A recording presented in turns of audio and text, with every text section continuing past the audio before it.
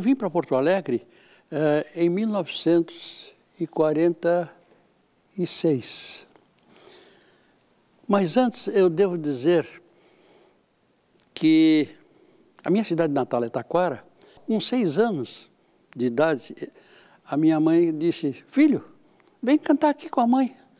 E eu então fui cantar com ela. E aí começou a minha vida musical, então, posso dizer, aos seis anos. Aos oito anos, eu comecei a estudar piano. Logo depois, comecei com acordeon. Aos 12 anos, já tocando piano e acordeon, eu comecei a tocar baile com a orquestra Jazz Brasil. O ginásio, eu estudei no ginásio adventista de Itaquara, e os meus outros estudos eram uma dificuldade, era música, música, música, música o tempo todo. Com 15 anos, 15, 16 para 16 anos, eu disse para os meus pais, eu quero estudar, uh, eu vou para Porto Alegre estudar no, no Júlio de Castilhos. Mas era mais uma desculpa para eu poder estudar música no Instituto de Artes. Eu comecei, cheguei aqui e para eu poder estudar naquela época no IA, eu tive que escolher um instrumento de orquestra. E eu sempre eh, gostei de trompa. Estudei trompa por três anos, ao mesmo tempo que eu cursava o Júlio de Castilhos.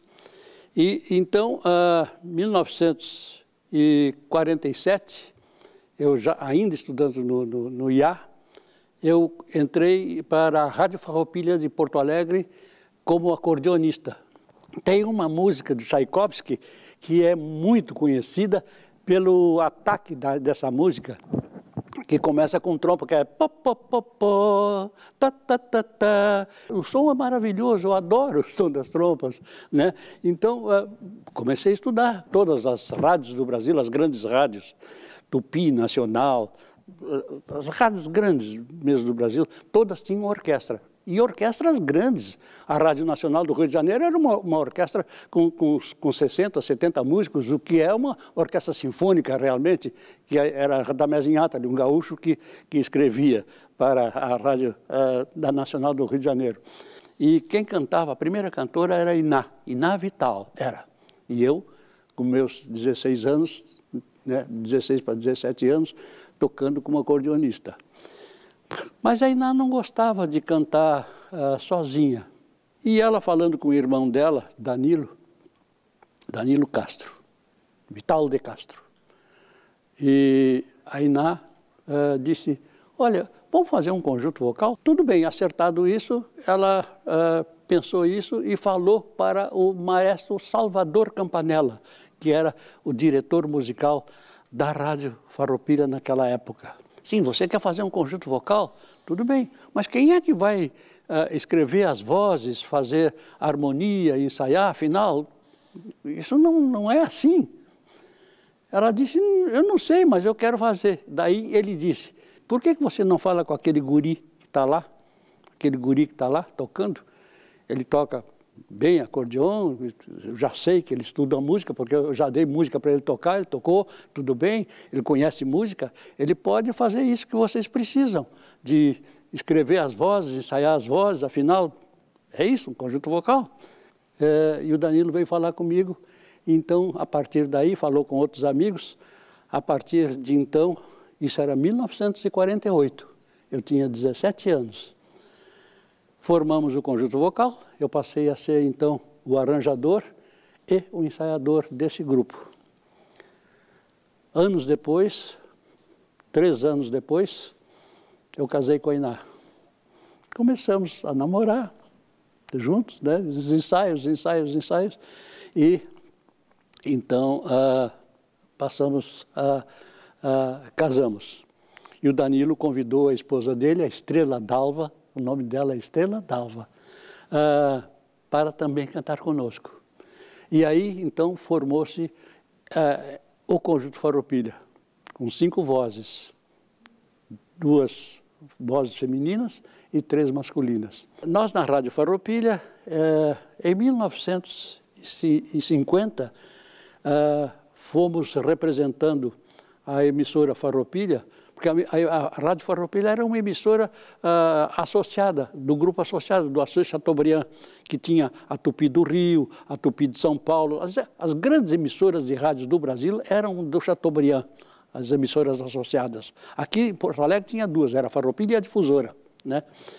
E, então, a primeira transmissão de televisão no Brasil, que ocorreu, foi em outubro, ou setembro, ou outubro de 1950. Então lá fomos, o Conjunto Farroupilha foi representando a rádio, as emissoras do sul do Brasil, naquela primeira transmissão de, tele, de, de, de, de televisão no Brasil, que lá estava, lembro ainda, é, Hebe Camargo, Lolita Rodrigues, pessoal todo que, que viria a ter grande nome em televisão.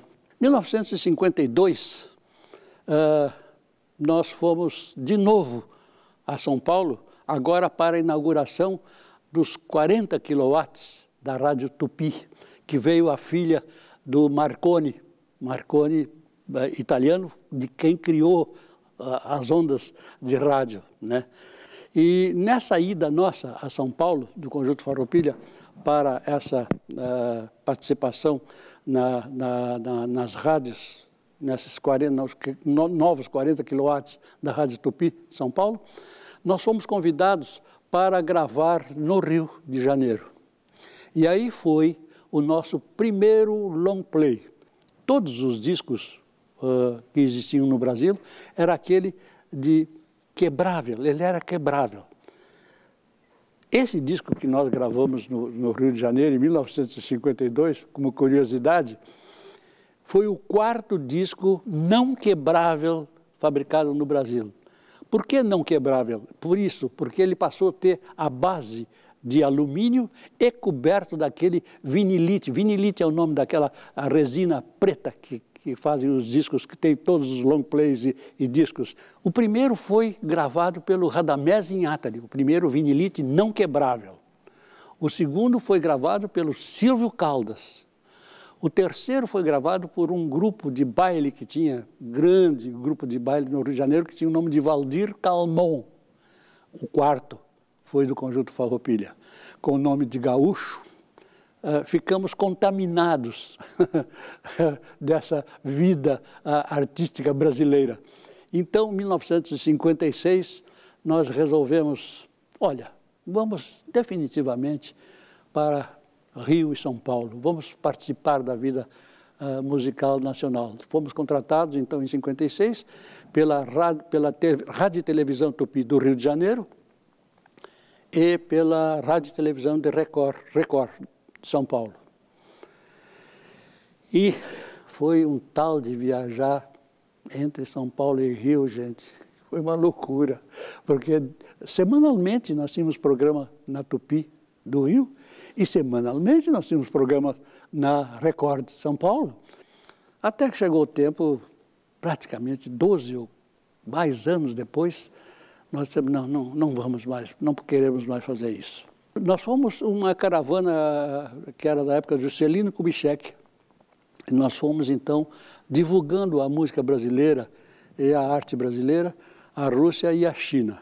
Quando voltamos, uh, em 59, nós fizemos um contrato com a Varig, junto com a Varig e o Ministério das Relações Exteriores. Deixa eu lembrar aos amigos que aquele jingle, Varig, Varig, Varig, fomos nós que gravamos.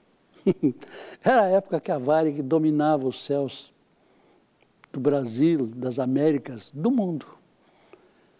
E aonde a Varig pousava, nas Américas, Centro, Sul e Norte, Europa, Ásia, África. Lá estávamos nós cantando a música brasileira, uh, promovendo o turismo brasileiro e a música brasileira. A, a Varig nos informava qual era a música de sucesso daquele país que nós íamos, ou seja, Alemanha ou os países escandinavos, Suécia, tudo mais, ou então Portugal, Espanha, lá sei, ou, ou mesmo Ásia, Japão e tudo mais. Então, numa dessas idas nossas, eles nos informaram, olha, na Alemanha é esta música que é o sucesso. E que música era essa? Olha, Liechtenstein a polca. Porque em cada país, nos shows da Varg, nós, nós encerrávamos o show cantando a música de sucesso daquele país. Então, isso era um sucesso do show, afinal, de, lógico, depois de cantar a nossa música brasileira, de cantar. Uh, de cantar bossa nova, eis aqui esse sambinha feito numa nota só. Aliás, essa gravação do samba de uma nota só, a primeira gravação desse samba, antes de, de todos os outros cantores, lembro João Gilberto, foi o Conjunto Faropilha que gravou. O Tom Jobim me deu essa música quando nós estávamos gravando uh, na Colômbia o disco Gaúchos em Hi-Fi, que tinha Negrinho do, Negrinho do Pastoreio, acendo essa vela para ti, que foi o nosso grande sucesso. Tentamos filhos por vários anos. Não tinha, não dava. Sempre Iná terminava perdendo a gravidez. Bom, e eu sempre, nós sempre quisemos um filho o que aconteceu? Ela, com 50 anos, engravidou. Nós dissemos, como? Isso é uma gravidez de risco. Nasceu a coisa mais linda, é meu filho, meu amor da minha vida. Ele vive em São Paulo, é paulistinha, nasceu em São Paulo, né? Então é isso, o João apareceu, é, não, não sei, é, raspa de panela, raspa de tacho, como se diz aqui. Né?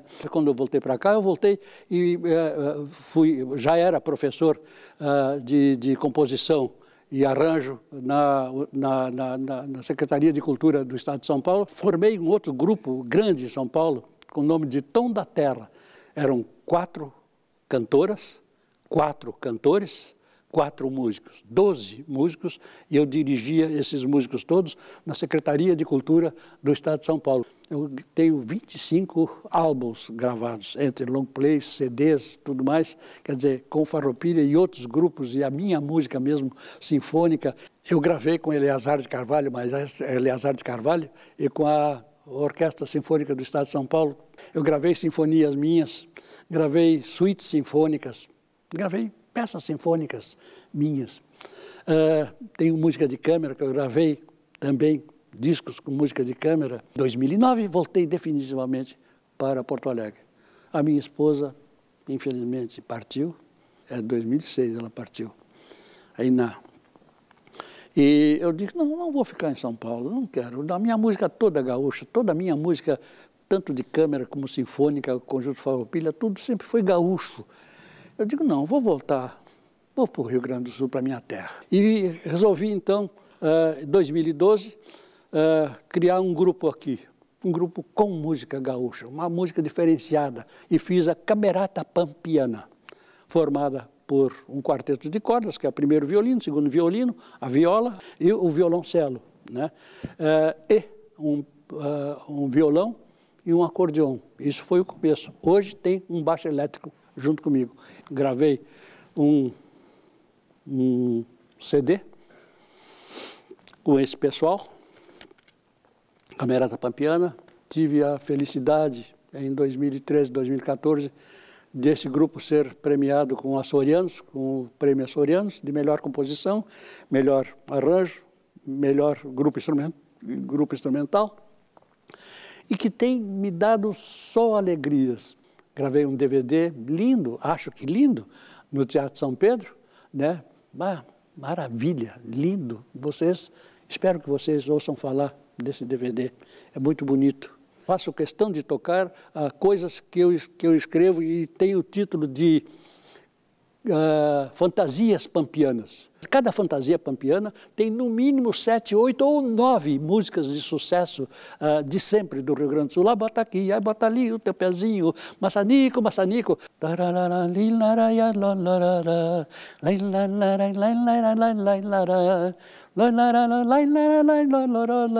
Para minha alegria, adoro essas fantasias, né? Então misturo coisas que não são minhas, como essas fantasias pampianas, com composições minhas que É isso. E é meu amor, é minha alegria agora, Camerata Pampiana, todos amigos meus, e assim vou levando a vida alegremente, felizmente.